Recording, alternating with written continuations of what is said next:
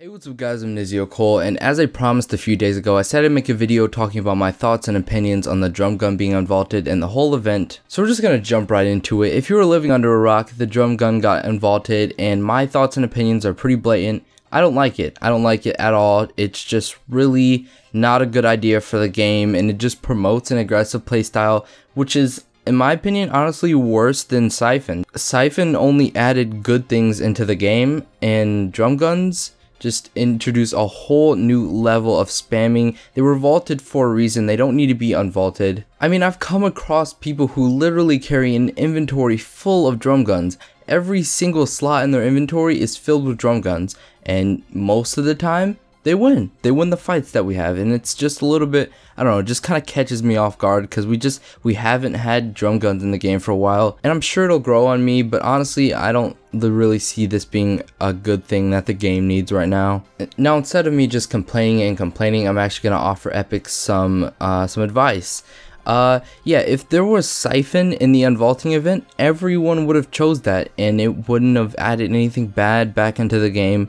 Everyone would play the same, except it would just add new incentives, especially those games. I'll put some footage up on screen of this game. I had, uh, four or five kills, right?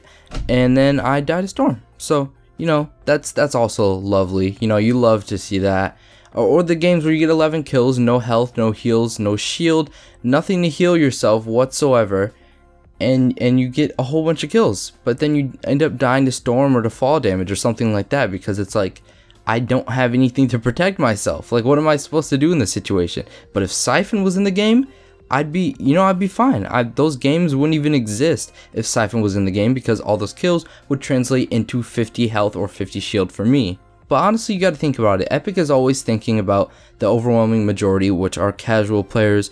200 million people play Fortnite. I'd say around 150 million of them are casual and 50 are pro players or, you know, just actually care about the game and play it every day. And I would classify myself in those 50 million players. I, it is kind of sad that Epic is listening to the more casual players because it's like you're not really in the tournaments uh, that are worth hundreds of millions of dollars. Although the drum gun is not being reintroduced into Arena or the World Cup, which is good uh, because yeah, no, that that would definitely spark an outrage louder. I don't know if Epic would listen or not, but yeah, that would be very, very interesting.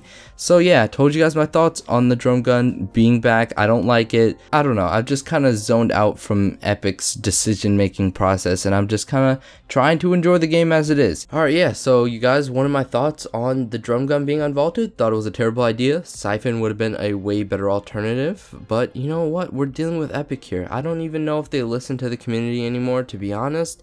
Uh, but yeah, hope you guys enjoyed this video. Make sure to leave a like and subscribe if you want more content like this, and I'll see you guys later. Peace.